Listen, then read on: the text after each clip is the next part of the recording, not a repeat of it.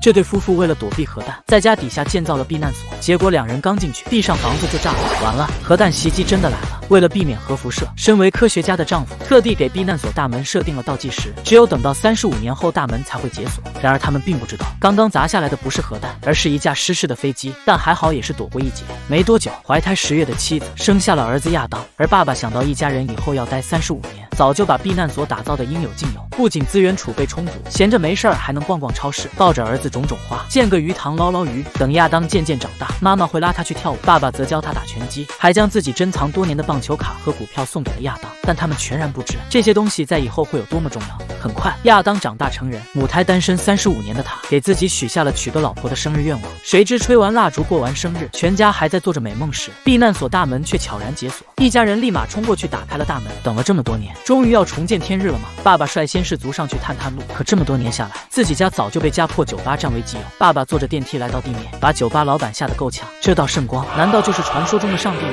老板一激动，直接晕倒在地。接着爸爸来到室外，怎么有人在啃垃圾？怎么还有人随地呕吐？这女人怎么嗓音这么磁性？等等，这居然是个带把的！完了完了，这场核辐射居然把人类都搞变异了，不能出去，不能出去！结果爸爸一激动，把自己给激动坏了。这下为了给他买药，亚当不得不出去。临走前，爸爸叫来亚当，说如果他看上哪个女孩，一定要找个正常没变异的。随后，亚当也来到了地面，酒吧老板还在烧香拜佛。结果一见到亚当，就连连喊道：“Oh my god！你敢信这男人活了三十五年，一直都躲在地底生活吗？现在他终于走出地面，看到了世界真正的模样。但啥都没见过的亚当，看到蓝天白云就能激动不已。瞧瞧这小萌妹，瞧瞧这黑人，这些东西以前都只能在电视上看到，现在能亲眼看见，又是多么新鲜，多么开心！接着，亚当坐上巴士，准备找家店给爸爸买药，再买点物资回家储备着。结果巴士一停车。谁知亚当买完东西后，却发现自己忘了回家的路，这下糟了。他坐巴士坐到晚上，还把剩下的钱都花光了。这时亚当想起爸爸送他的棒球卡，决定卖出去换点钱。店主一看这百年老卡，脸上都憋不住笑了，便忽悠亚当这一叠卡只值五百块。就在他信以为真时，一旁的金发美女夏娃猛地叫住：“你可别当冤大头，这叠卡一张可是值六千块的。你瞧瞧你这里，一张、两张、三张，这么多卡，整个村现在就你最富了，赶紧别卖，走人。”而因为亚当找不到家，只好让夏娃送他去酒店，报酬则是三张卡。结果他一走进房间，拉开窗帘。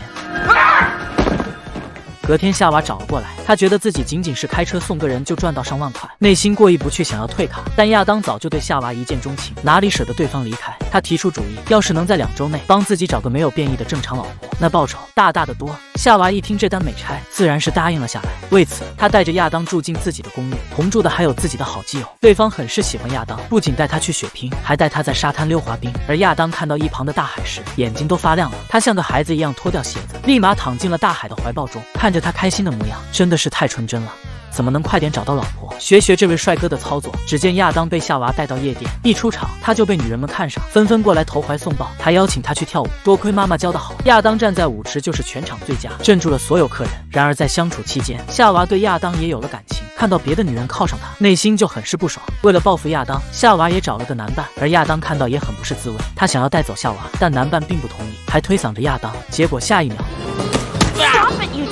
两人回家后为彼此的行为道歉，气氛也慢慢的变得暧昧起来。此时夏娃提出疑问：“你有没有谈过恋爱？怎么可能谈过？你不知道亚当单身三十五年吗？”见夏娃如此惊讶，亚当只好讲起了自己的故事。但夏娃听到什么避难所、什么核辐射，我爱上的人不会是神经病吧？然而亚当第二天和基友出门逛街时，居然误打误撞找到了自己家。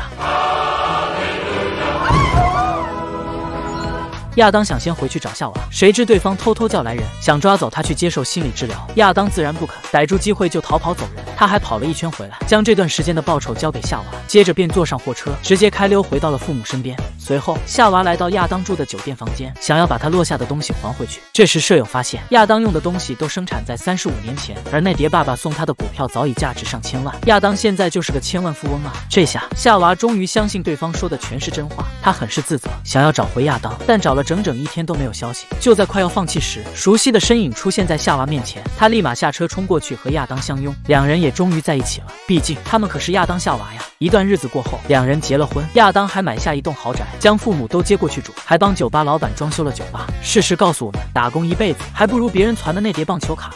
好啦，今天的节目就到这里。这部电影叫做《超时空宠爱》，欢迎关注科幻战舰，我们下期再见。